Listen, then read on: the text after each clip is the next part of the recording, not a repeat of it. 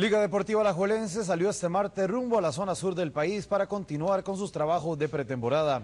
Los rojinegros van a disputar dos encuentros amistosos, el primero ante Cotobruz este miércoles a las 8 de la noche en el estadio municipal de dicha localidad, mientras que el jueves será el segundo compromiso ante Aspuma Generaleña a las 11 de la mañana en el Polideportivo de Pérez Celedón. El técnico viajará con 25 futbolistas para enfrentar estos compromisos. No viajan Alejandro Aguilar, José Salvatierra, Steven Garita y Kevin Sanchos, pues se recuperan de varias lesiones ahora con, con esto de, de, volver a retomar un poco la pretemporada en el sentido más que todo la parte física, ¿verdad? Y también darle rodaje, como, como en este caso. Y a mí me interesa también la competencia interna, entonces la manera de, cómo la, la, la, cómo la logro intensificar en el sentido de, que ellos compitan entre ellos mismos a mí me, me, ha, me ha servido.